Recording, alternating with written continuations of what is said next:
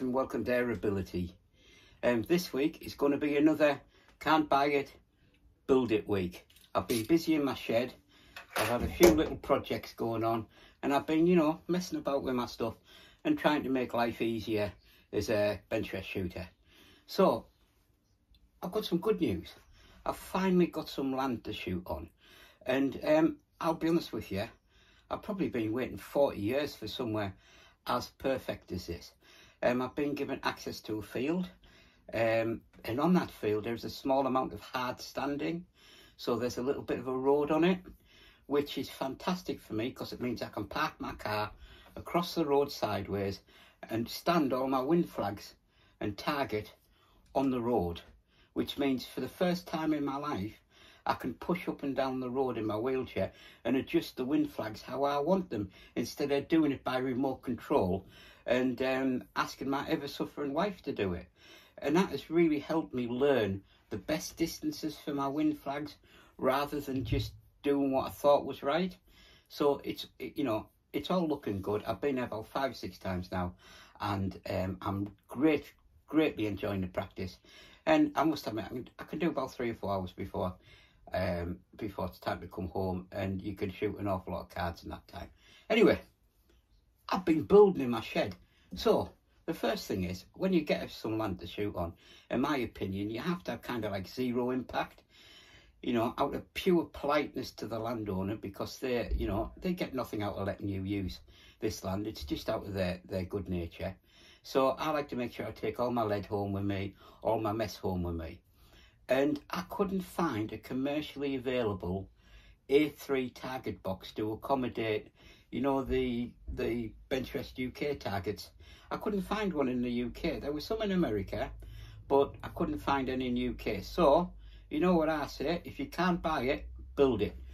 So I was having to think about how to make a clean, easily portable um, target box that I could take to the to the um, field with me. So I was looking in my shed and I found this toolbox that I hadn't used for ages. And you know these type of toolboxes where they have the, they're all divided up by plastic boxes so you can put your screws in and small tools and things like that. Well, I'd lost half the boxes and this must be going on 20 year old it's just been sat there. So I threw the boxes out and um, I'll show you what I did with it. So the good thing is, first of all, um, at the end of the day, you just close up the lid and all your mess goes home with you and you sort it out at home and that's fantastic. It, it captures up to now it's captured 100% of, of, of the pellets. So i'm over the over the moon with that. Nothing falls out the bottom until you give it a good shake. So what have i done to build this? It's really simple and it's really effective. So as you can see here i'll deconstruct it and i'll move backwards and, and show you what I did. So here you can see fully accommodate a bench rest UK A3 card. I've got a little bit of foam here that makes sure that the card lines up with um, you know cent centrally on the on the um, you know in the case and it lines up with the steel back plate.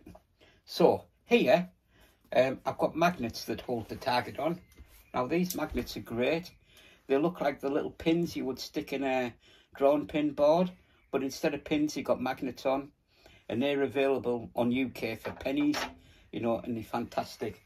I've got about 50 of them here. I could only buy them in a, in a, in a box of 50. So um, I've got a couple spare if I lose a few in the field. So here we go. We've got the target on, held on by magnets. So how we achieved that was, I got some offcuts of foam. This is, you know, that case foam that you you put in your rifle case and you cut away the black and it reveals the sexy colour behind which complements your stock. This is some offcuts that I've used in uh, Tangerine Dreams case and obviously when you reveal the black it's orange underneath and it's really high density. So what I've done is, is I have first of all I put a two millimeter steel plate all the way in the back of this box so there's no airgun pellet getting through this. Then I've then I've put strips of foam glued to the um, steel box, uh, sorry, to the back plate. And what that does is it holds this big these big pieces of foam off the back plate. Now, why is that, do you ask? And I'll tell you why. Because the pellets go through this foam, they hit the back plate, they go flat, and then they fall to the bottom here, and I can shake them out of this slit here, which makes it easier to clean up at the end of the day. Um, so they fall down the gap between the um, big sheets of foam at the front and the steel plate. And when you finish shooting, you can see them all collecting in here, and you just close up the lid and take your mess home with you to sort out later, which is fantastic. Now, so as I say, I glued the foam to, to strips to keep it off the back plate. There's a two millimeter steel back plate in there. And I put some little corner brackets on here, which obviously take the magnets and hold the target on, which is absolutely fantastic. I've got some weaker magnets down here. It was just what I had in the shed to make it work. As you know, you can't buy build it, relies on what you've got in your shed at the time. But this is a fa fantastic, um, you know, it really has worked for me. You know, it's, as you can see here, it's very easy to use and away you go. So how do I use it in the field? Well, I'll tell you what, I've stolen my wife's favourite decorating um, step ladders and I use these mini bungees. Somebody gave me a good tip about these and I must admit I use them for all sorts. You know, you can use them to hold your wind flags down. You can use them to tie this to the ladder um, so it's the appropriate height, competition height. You can, you know, you can use it, you know, to, to, to immobilize teenagers who get on your wick. You can use it for anything. They're absolutely fantastic. And um, it's, it's um, you know, it, it, there's nothing else to say about really. It does its job and I'm really happy with it. One thing I do want to say is I've got this, I found this glue that sticks anything to anything, especially things like foam to smooth surfaces. You know where you've got imperfections. It's called goop. It takes a bit of time to set, but I've, I, you know, I've, you know, you can stick metal to metal, wood to wood, plastic to wood, rubber to wood. It's one of those all-purpose glues. It's clear. It's a, I think it's a rubber-based glue. I've even, you know, managed to repair inflatables with it. So it's really universal. So there you go. And it all just gets thrown in the boot of the car on the way home and there's zero impact on the field when I've left. So jobs are good. Now, I've been busy as well. I've done a few little jobs in the shed as well. Now, the first one is, you know, my Seb Mini project, um, where I took the coaxial head of a Seb Mini rest and put on a smaller base, so it was lower for me. Well, I had to shorten the handle as well, and I put the golf ball back on the handle that came with it, you know, the thing you used to move the, the handle and twist it. And I'll be honest with you, the golf ball wasn't for me. So I've been looking for something, um, you know, different to put on. So what I came up with was, was I was looking on eBay and I found these um, rubberized golf club handles. Um, quite stretchy. They've got the same um, size hole as the Seb Mini Rest um, lever and so I bought a couple of them and I fitted one to my Seb Mini Rest lever and quite a tidy little job. It means it's quite grippy when you need to twist it. Um, you, you don't have to hold it right at the end where the knob is. It's very tactile and obviously it's orange. So here's a few, here's a little video of it in action.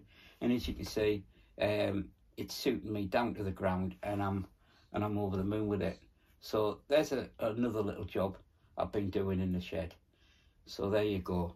How I did it was, obviously I've shortened this arm um, originally because um, it was a little too long for me. It was actually touching the trigger guard on the rifle.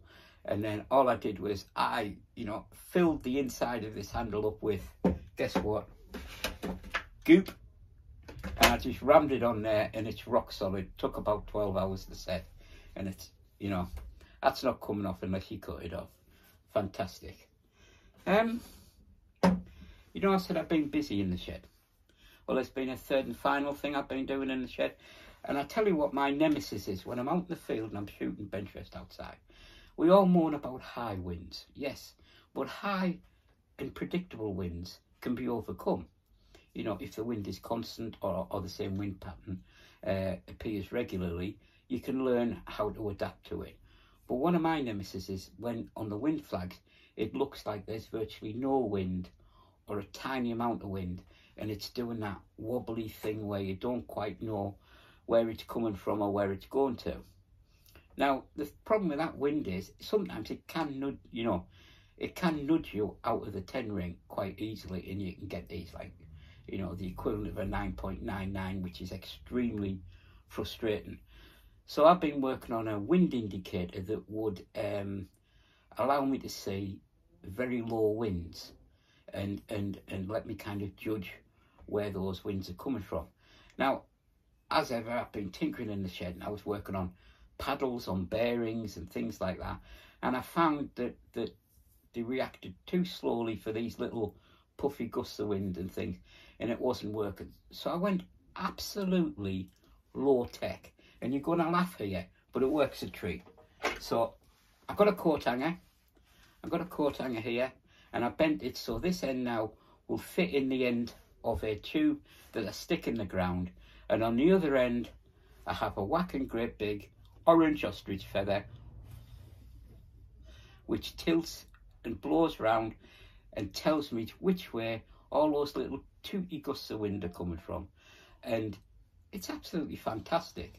As you can see here from the video it just gives you those little visual indications um, of where the wind's going and you can just finally adjust where you're aiming on the target to make sure that it's a 10 and not a 9.9 so this will go for further testing. What I've already learned is I think I need a bit more bit more string here so allow it to flow a bit more freely. But on the whole it's working well and this will go through further versions in the future but I think this idea personally is going to stick and I'm, and I'm pretty much enjoying it. So, you know, I've showed you what I've been doing in the shed. Built a backstop, put a handle on my Seb rest, um, on, you know, put a new handle on my Seb rest and uh, I've been working on this low wind indicator, very technical, nothing, nothing new in the world, is there? It's a feather. But anyway, until next time, Always have a safe backstop. And take care. All right. Bye-bye then.